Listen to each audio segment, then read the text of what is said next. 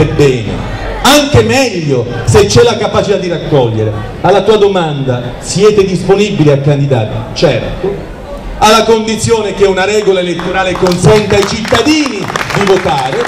Secondo, dando un contributo che si conosca e si riconosca ad un progetto di sviluppo, come quello che è già accaduto in molte parti di Europa. Io sono un irrisolvibile invidioso. Quando vedo che le Marche hanno 220.000 imprese, Raffaele, io sogno che le 133.000 imprese dell'Abruzzo diventino 200.000 e poi si ingrandiscano, si internazionalizzino, si innovino, facciano ricerca insieme, si distrettualizzino, si combinino facendo pezzi combinabili di produzione, di ricerca e sviluppo, tutto quello che è già accaduto in altre parti del mondo. Concludo. Raffaele Bonanni. Mentre venivo qui mi tornava in mente una battuta di un monsignore della diocesi di Chieti. Io non so se voi fate parte di Sulmona o di Chieti. Di Chieti. Di Chieti. No, Sulmona sappiamo religioso. Sappiamo religioso. C'è un paese ai confini quadri, fa parte della diocesi di Sulmona e Balba, nonostante che siamo... Sì, sì, perché la religione si prende anche ciò che sta in alto dei territori. Addirittura fa parte. Di Trivento. Monsignor... Forse bisognerebbe seguirla pure per la ridimensionare i tribunali, forse un po' più di geodetica. Monsignor Valentini, Antonio Valentini, sacerdote a Pescara e poi vescovo a Chieti, disse prima o poi mi dovrò regalare il tempo per cercare di capire perché, e io dico sono contento, diceva lui, l'Abruzzo ha dato luogo ai Natali a così importanti sindacalisti nazionali. E lui avviò una riflessione. Insomma, ci sono state personalità del sindacato. Uno magari voi, non tutti insieme, ricordate che è stato quasi da natalità abruzzese, benvenuto se non sbaglio, e poi gli altri che voi sapete. Io completai un inizio della sua riflessione dicendo a Monsignor Valentini, del quale sono stato un collaboratore, perché è nella storia dell'Abruzzo un certo dialogo competitivo con i poteri.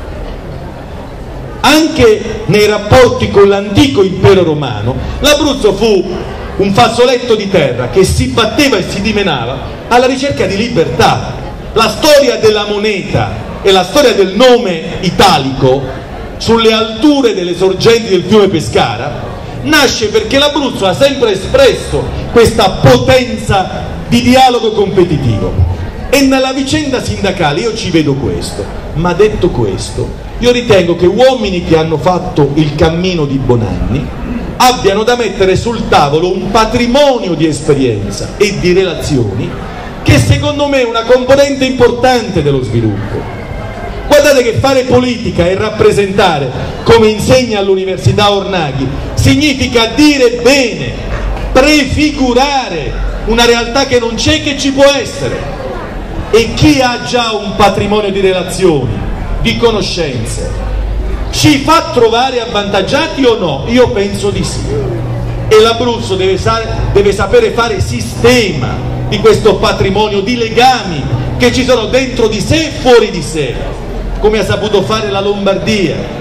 La Lombardia di Bassetti, che è stata la migliore Lombardia, era questo, un continuo cercare chi aveva legami con chi, ma non per fare lobby assistenziale, da regalia, ma per fare battaglia per il progetto. Ecco, io per questo mi auguro che Bonanni confermi la passione per gli ulivi del suo tenimento agricolo, rinnovi il suo legame con quel paese molto esigente che è Bomba, che ha dato i Natali ad una delle più grandi personalità del risorgimento, come voi sapete essere stato Silvio Spaventa. Napolitano ha detto è stato dopo Cavour la più alta personalità dell'Italia per la battaglia e l'esperienza di risorgimento. Io però mi auguro anche che lui cominci ad aumentare il tempo della dedizione per le questioni abruzzesi nella formula che a lui sarà congeniale, compatibile con quello che lui stabilisce essere il suo percorso. Però io credo, e concludo,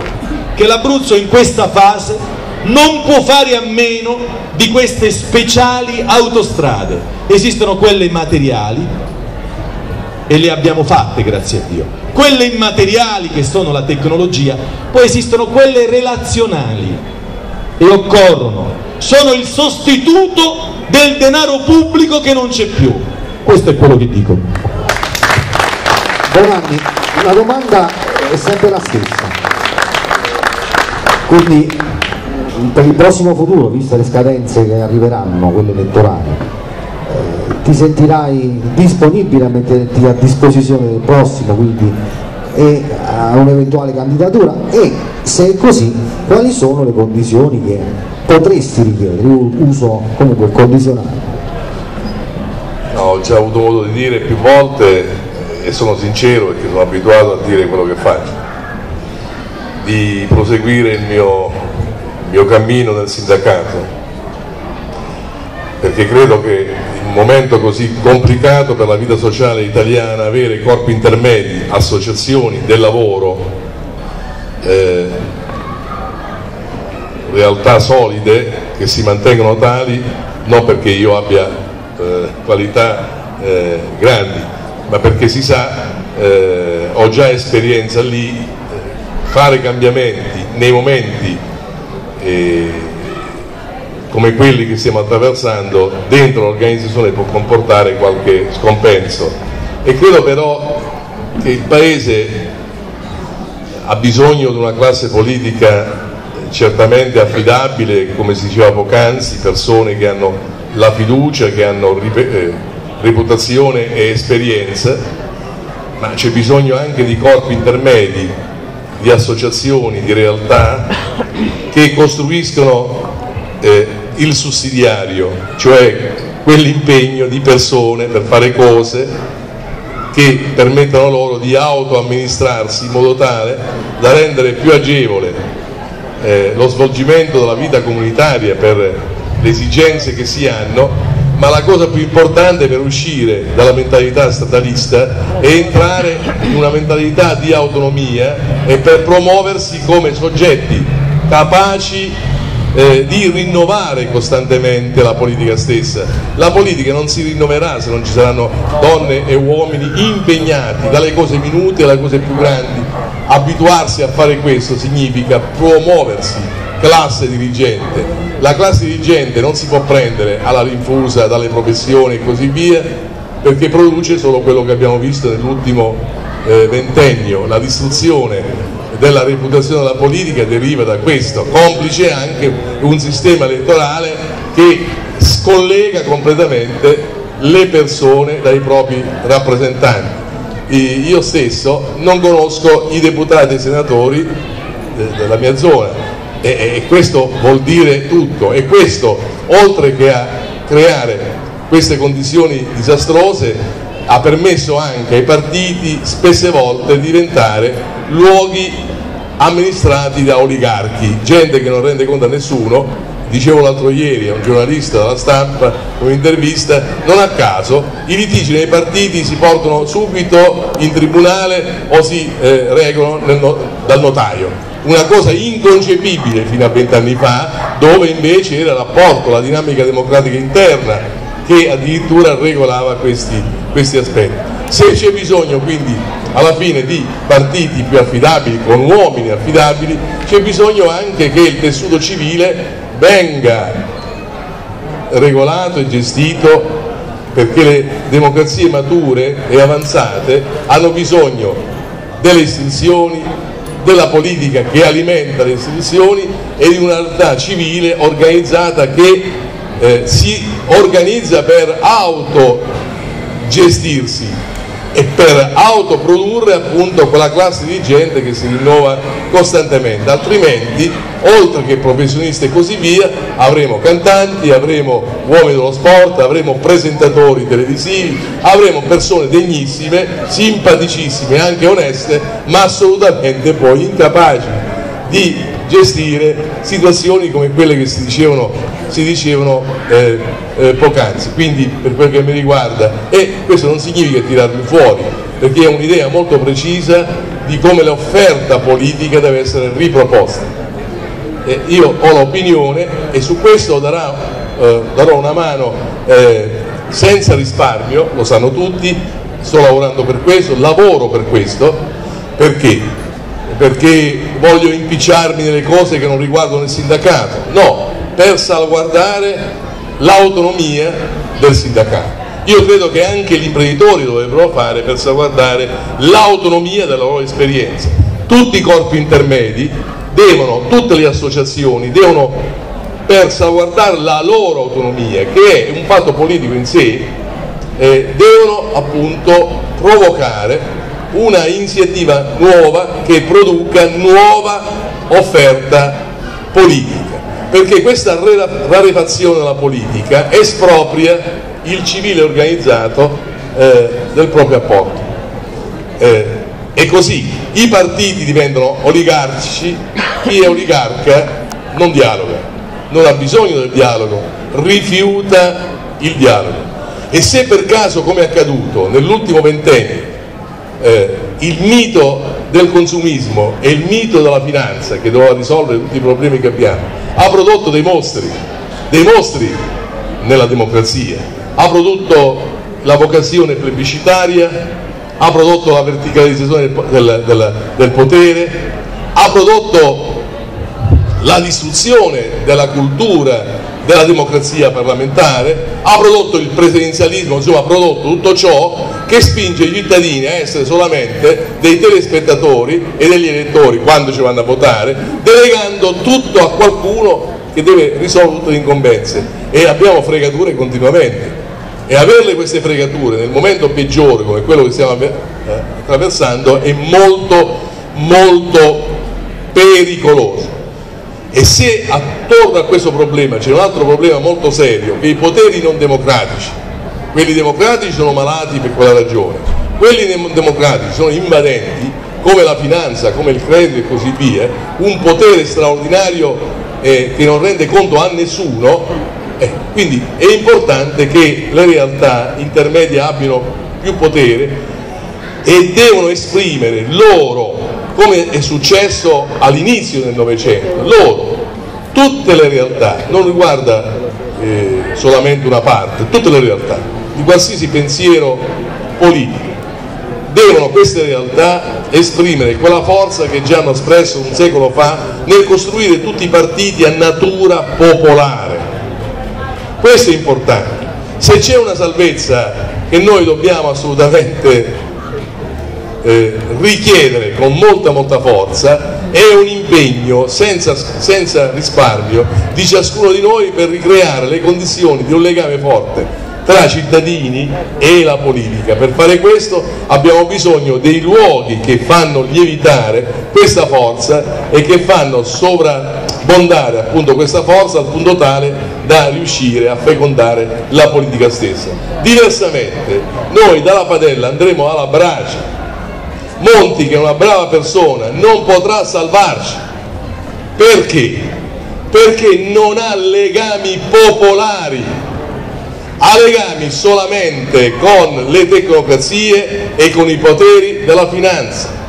Monti che ha una forte vocazione europeista io stesso sono convintissimo che solo l'Europa può eh, metterci in condizione di proseguire il nostro cammino di, eh, di progresso, l'Europa però gestita da tecnocrazie e dal e dalla finanza è un'altra storia da un'Europa a quel punto affidabile che poggi, che poggerebbe a quel punto sulla propria cultura sociale propria dell'Europa se ricostruisce questo tessuto. Quindi le forze intermedie hanno una grande responsabilità, devono eh, osare di più, avere più coraggio e dare un colpo forte a questa condizione. Luciano mi diceva poc'anzi, ma sta legge elettorale la fanno o no? Io gli dicevo, ma perché la dovrebbero fare gli oligarchi? Per loro fa comodo stabilire chi sono i deputati e i senatori. Non la faranno mai. È inutile che il Presidente della Repubblica le richiama una volta alla settimana. Faranno finta di farlo, all'ultimo momento non lo faranno, perché è troppo comodo stabilire loro stessi chi saranno i senatori e i deputati e costruire nell'impalcatura oligarchica il loro potere fatto da una cerchia ristretta di persone fedeli per il solo fatto che dicevano loro. Altra storia è la vicenda delle preferenze, mi associo, perché ricostruisce il legame tra cittadini e persona che è il rappresentante, ma la cosa più importante è che in questo legame si rinnova continuamente la politica, perché?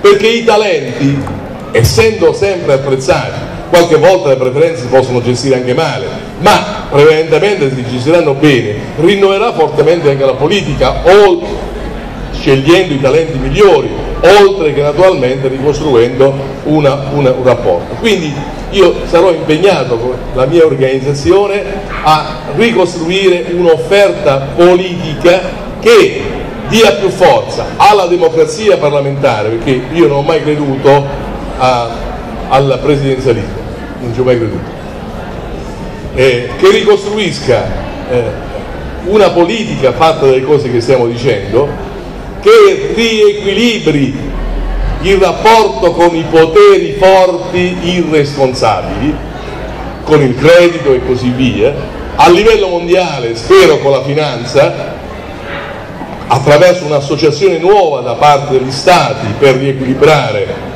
appunto un potere così invadente e così esclusivo. Quindi si tratta eh, di costruire una nuova stagione di impegno. Io domani vado lì a ricordare De Gasperi per ricordare questo e lo faccio proprio da sindacalista per quel che mi riguarda, perché finché il sindacato non ha una realtà politica affidabile e popolare è in forze anche la propria autonomia, perché realtà politiche costruite attraverso l'esperienza delle persone riconosce una propria realtà simile, una realtà associata, una realtà viva, realtà che hanno poteri che gli derivano appunto non dalla realtà democratica, ma dal fatto dei soldi o di altre, altre questioni, non riconoscerà mai cittadini associati, la vivacità che deve esserci necessariamente, necessariamente una democrazia. L'ultima questione è quello che si diceva poc'anzi su che cosa bisogna fare in Abruzzo. È il ruolo della politica. Sottoscrivo tutto quello che è stato detto. Io spero, io ci pensavo, tempo addietro leggevo e, e mi confrontavo con amici miei sindacalisti austriaci sull'esperienza che stanno facendo in un lander del, dell'Austria, in un territorio, nella Carinzia, che è una regione appunto eh, non proprio sviluppata, né sottosviluppata e neanche molto sviluppata, cioè una realtà che grosso modo simile alla nostra, no? Tolta la provincia di Chiedi, il resto diciamo, che la provincia di Chiedi è molto più sviluppata. Perfetto. E leggevo che in Carinzia come si presentano agli investitori? Perché loro hanno in testa proprio di catturare gli investitori, come si faceva negli anni 60 qui, cioè appena c'era chi lo faceva, Gasperi andava appunto attraverso le sue conoscenze cercando di incanalare verso l'Abruzzo, però quelli al di là dei buoni uffici di Gasperi, quello volevo sapere, la gente è specializzata o no?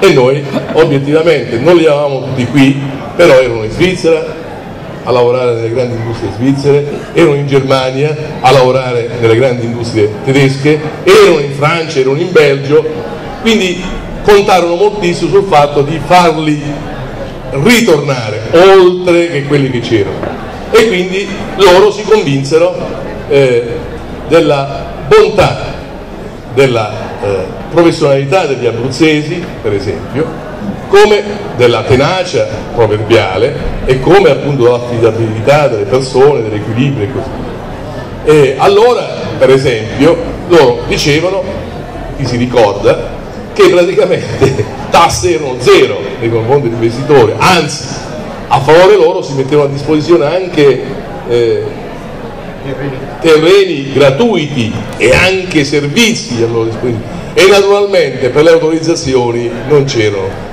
tutte le complicazioni odierne. Niente burocrazia. Niente burocrazia. Una telefonata, una stretta di mano e l'autorizzazione era presente il giorno successivo. Perfetto. In Carinzia hanno fatto una sorta di menù per gli investitori, un menù dove si dice quanto costa l'energia e loro ti dimostrano che l'energia lì costa poco. Chissà quanto costa qui l'energia, in tutta Italia in verità, e qui. Quanto costano le tasse locali?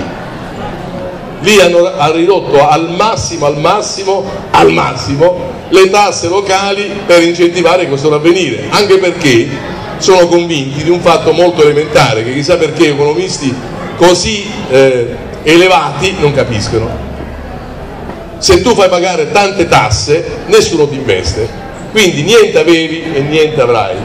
Se riduci fortemente le tasse, dal niente passi a un poco, meglio un poco che niente, però un poco che ti viene da, una, da un movimento economico che essendo un volano che gira sempre più forte entra in un circuito virtuoso che crea quelle condizioni dello sviluppo che si sottolineava poc'anzi. Loro ti mettono lì, appunto, ogni cosa quanto ti costa. Se qui ci sono persone che faranno politica e io sarò al loro fianco nel sostenerli. Se fanno la loro battaglia dicendo benissimo, gli abruzzesi devono, le istituzioni abruzzesi devono presentare l'elenco di ciò che costa a un imprenditore che vuole investire, no? quello che costa su tutti i punti con cui dovrà confrontarsi. Credo che sarà un modo più semplice ma anche più efficace e questo crea anche una sorta di trasparenza che oggi non c'è, ma crea anche un meccanismo di benchmarking con gli altri territori e quindi eh, cerchiamo di superare anche noi stessi. Io dico, ma sta cosa, questo, se qualcuno si mette in testa solo questo programma, trova l'uovo di Colombo, perché? Io ho l'ossessione della inappetenza degli investitori rispetto all'Italia, rispetto all'Abruzzo e così via. Io trovo drammatico questo aspetto e mi, e mi fa specie che alcuni, ma neanche ci pensano, hanno fatto una polemica a non finire sulle vicende della Fiat, ma non capiscono che oramai gli investitori, la Fiat oramai non è l'azienda stessa che mette i suoi soldi, loro ci mettono il know-how, la capacità di costruire veicoli, ma i soldi loro li prendono dai meccanismi internazionali di finanziamento. I soldi loro ottengono se l'intrapresa che propongono poggia su basi solide. Alcuni discutono come se stessimo gestendo le municipalizzate, scusami, di Pescara o di Roma o di Milano e così via, che è altra storia decide la politica, i trombate la politica, tutti nei, nei consigli di amministrazione, non c'è costi e ricavi, non c'è niente, c'è solamente il fatto che loro hanno deciso il prezzo e hanno deciso le condizioni. Quindi questo è un fatto molto, molto importante. Spero che voi lo utilizziate questo aspetto. Credo che questa sia la battaglia davvero. Io se ci dovrà essere competizione politica ci sia con nuova offerta politica, ma la nuova offerta politica deve ritornare con i piedi a terra, un rapporto forte con la gente, un rapporto forte con ciò che fa sicurezza per il nostro benessere, che viene dal lavoro, non viene dalle chiacchiere, non viene né dai sussidi che potrebbe dare la politica, che manca ne può dare più, e né da altre storie, viene dal lavoro, viene dalla capacità che abbiamo di suscitare interessi verso gli investitori. Questo è il punto, ecco perché anche io mi associo. Tante più imprese, tanto più benessere, ma saranno piccole imprese. Queste piccole imprese, Luciano però tu lo sai, nascono solamente quando ci sono grandi imprese e quindi grandi investitori che investono e intorno si crea appunto quella realtà di servizio che poi a sua volta nel tempo se tutto è virtuoso si sviluppa quindi io spero davvero spero davvero dobbiamo farlo in, in ogni modo insomma quello che voglio dire, il benessere futuro dipenderà esattamente da noi. Guai a pensare che dobbiamo trovare uno che sa risolvere tutti i problemi nostri. È importante avere persone con esperienza, con capacità, con onestà che dirige la politica, ma è importante che i cittadini si riprendano in spalla le loro piccole responsabilità e si riassocino tra di loro. L'ultimissima cosa, dopo fare, è sulla vicenda dell'architettura amministrativa e istituzionale. Questo lo devo dire perché sennò... Allora, noi italiani abbiamo fatto un disastro enorme.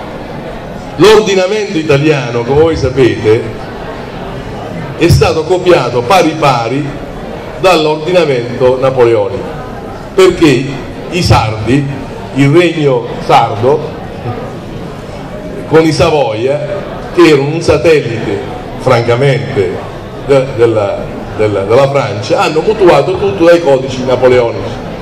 Quindi province, comuni, Stato centrale.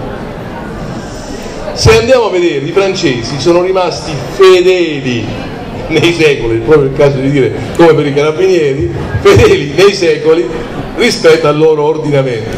Sono ancora Stato centralista, province e comuni. E comuni.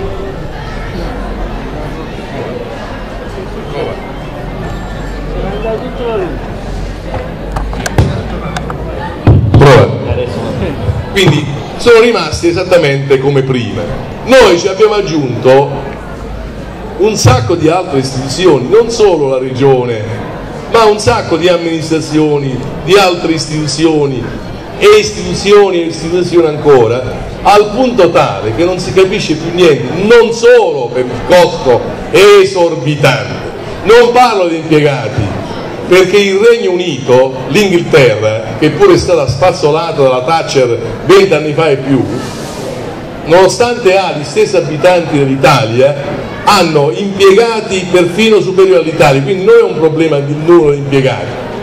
Noi non abbiamo più impiegati degli altri, sono stati utilizzati male dal fatto che purtroppo la politica gestisce direttamente anziché farlo fare ai, al management. No? Allora, noi abbiamo un disastro, troppe amministrazioni, troppe istituzioni, mortificano i dipendenti eh, pubblici, mortificano il cittadino che paga un sacco di tasse e non ha il servizio indietro e tutta sta macchina non si riesce più a, reggerli a soldi. Se voi andate a vedere la progressione dell'allargamento delle istituzioni e delle amministrazioni nell'ultimo trentennio è pari pari collegato appunto con la progressione delle tasse negli anni 80 noi pagavamo circa sì e no il 30-32% di tasse, siamo arrivati a più del 50% progressivamente collegati appunto a un allargamento sempre superiore. Questa storia non può continuare, non può continuare, non è un problema solo di province, non è un problema solo di province. Se fosse un problema di province sarebbe anche un falso, perché è vero, le province sono quelle più inutili, secondo me, perché hanno tre funzioni essenziali, tre. Una riguarda gli istituti tecnici, si possono di solito gli istituti tecnici sono in grandi centri, grandi centri.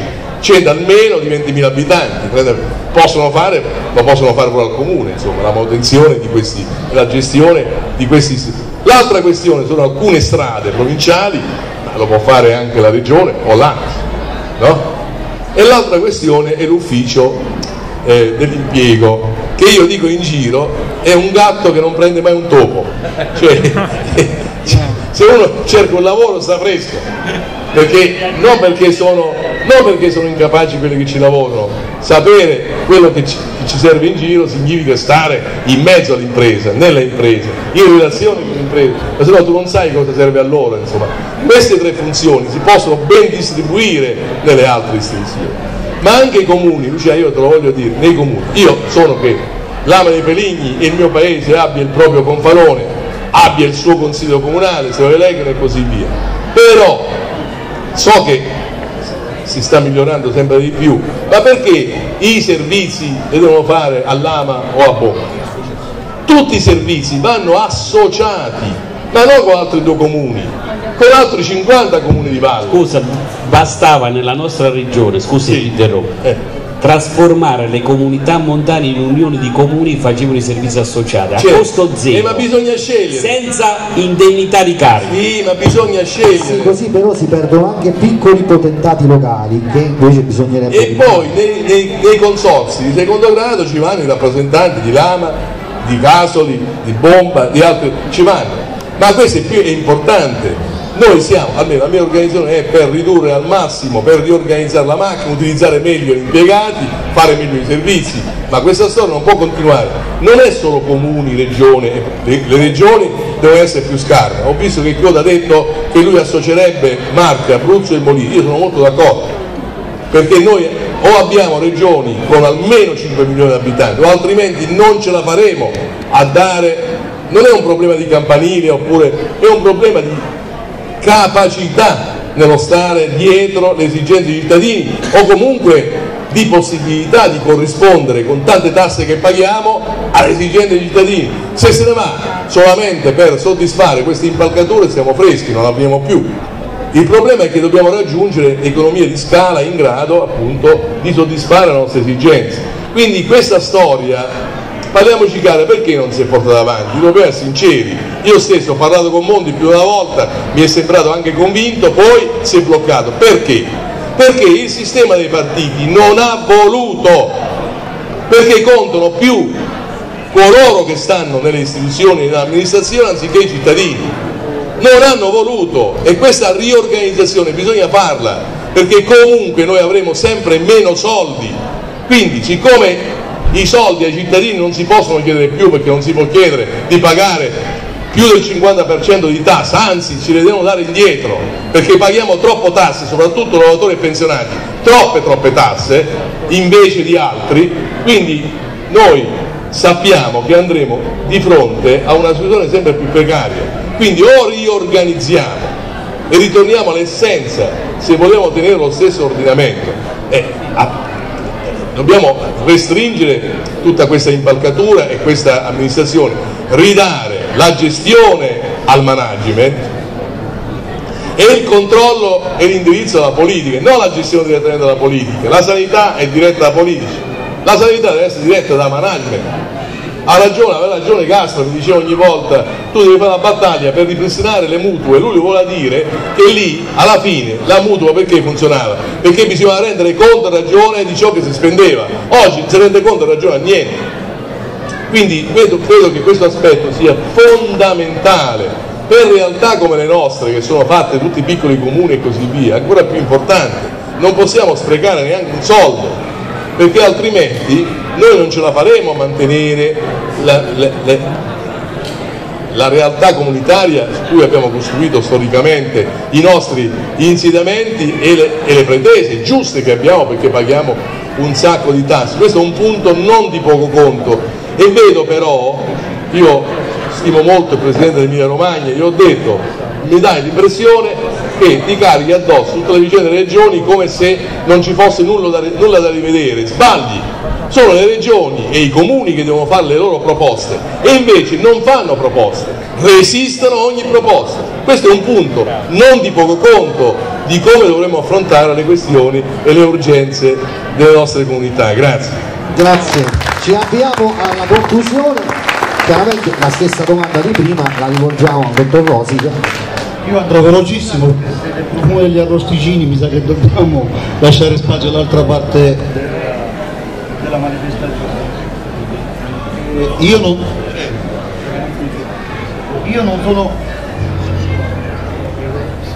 non sono candidabile quindi ovviamente devo, devo decidere di poter aiutare Di essere leggibile. non, non posso, non posso candidarmi perché fino a maggio sono impegnato con Confindustria. Invece la mia idea di Italia o la mia idea di nuovo partito, di nuove persone che dovrebbero impegnarsi in politica, sono veramente sorpreso, mi sono appuntato delle cose, sono troppo vicine a quelle del segretario Bonagni e le condivido moltissimo. Poi le voglio fare anche in conclusione un minuto proprio come dire, una riflessione mia personale, perché non mi capiteranno altre occasioni per fare questo. Ritengo che l'Italia deve ristabilire il suo giusto posto in Europa. Noi siamo il secondo paese manufatturiero d'Europa e non abbiamo la giusta dignità al lavoro dell'impresa europea ma neanche al lavoratore. Dopodiché, parlando di costi di energia, non è corretto che noi continuiamo a pagare l'energia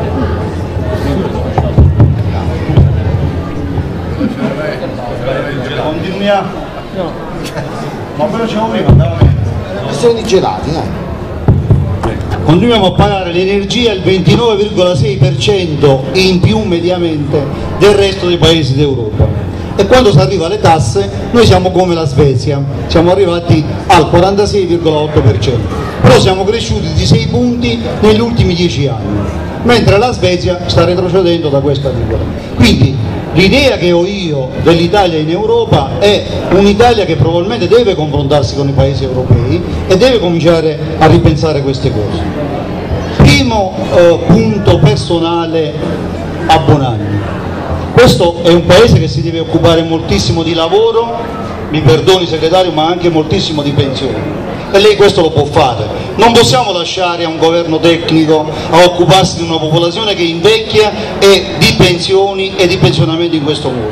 Penso che persone che vengono da- soprattutto dal mondo del sindacato devono cominciare a dire la loro amministrativamente su queste cose e non eh, in termini. Dopodiché credo che il governo, i partiti hanno bisogno di persone che hanno già avuto una delega ampia e che sappiano esprimere questa delega in una maniera duratura nel tempo. E l'ultima cosa che le voglio dire, questo è proprio un appello diciamo, di natura personale per come vedo io l'Italia, noi siamo di fronte a un nuovo terrorismo che questa volta purtroppo eh, non andrà nelle piazze, ma andrà pro- probabilmente nelle sedi del nostro Parlamento. Noi non possiamo permetterci una polemica o non possiamo permetterci una contrapposizione che sia illegale. Eh, mi riferisco un po' alle cose che accadono attraverso i grillini, i notabili, queste cose qui. Noi dobbiamo sicuramente avere delle contrapposizioni all'interno delle istituzioni che siano di discussioni per avere una visione. Eh, le cose forti possono danneggiare ancora di più la politica, le cose forti possono allontanare ancora di più i cittadini dalla politica. Le persone che hanno avuto una delega ampia negli anni, come lei, le persone che conoscono i territori, le persone che hanno il dono della moderazione, probabilmente in questo momento mh, non daranno niente a loro stessi perché il momento è difficile, ma possono dare delle cose al proprio paese e credo che questo sia un dovere di tutti quanti noi. Grazie. abbiate comprensione, siate brevi in questo dialogo. Io ho una sola domanda, poi concludiamo. Allora, questo salotto politico estivo montano è stato organizzato da un movimento territoriale che nasce dal basso e che si chiama Orientamento Democratico. Eh, sarebbe opportuno non essere anti antipolitica, nel senso incuriosirsi a quelli che sono i movimenti spontanei da parte di eh, ti prego di farla tu magari è meglio voi anzi. Non è un ragionamento sbagliato. Ecco cosa vi suscita il nome orientamento democratico prima domanda e poi concludiamo. Secondo noi questo salotto politico estivo montano lo vogliamo proseguire. Vi ringraziamo di essere intervenuti perché ci siete venuti vicino. Quest'altro anno lo vogliamo rifare quindi vi chiediamo di darci una mano con le autostrade intellettuali di cui si parlava prima e di impegnarvi pubblicamente con noi affinché questo si possa fare. Ecco Luciano parto da te. Manifestiamo consenso. chiudiamo con questo con una battuta. Dilla con il microfono perché non si è sentita. Manifestiamo consenso, dai. grazie e buon divertimento serale